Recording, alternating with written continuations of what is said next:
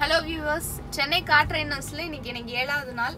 இங்க இப்போ எங்க நின்னுட்டு இருக்கோம்னா அந்த என்னது? தரமணி ரோட்ல நின்னுட்டு இருக்கோம் நாங்க. தனியா டிரைவ் பண்ணியாச்சு. டிராஃபிக் எல்லாம் வந்து பயம் பயம்லாம் கிடையாது. நம்ம பாட்டுக்கு வந்தாச்சு ஓட்டியாச்சு.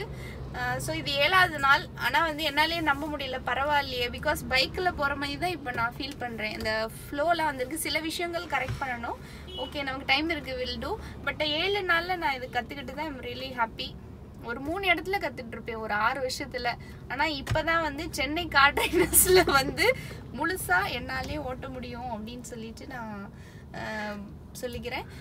ஐ மீன் கான்ஃபிடென்ட்டாக இருக்குது நான் எதுக்காக இது சொல்கிறேன்னா என்ன மாதிரி நிறைய லேடிஸ் வந்து போயிருப்போம் அன்கம்ஃபர்டபுளாக இருந்திருக்கும். நம்ம ஏதாவது டவுட் கேட்டு எத்தனை தடவை சொல்கிறது அப்படின்னு என்ன மாதிரி நிறைய பேர் நிறைய விஷயத்தில் வந்துட்டு பேக் அடித்து வீட்லேயே உட்காந்துருப்போம் அந்த மாதிரி விஷயம்.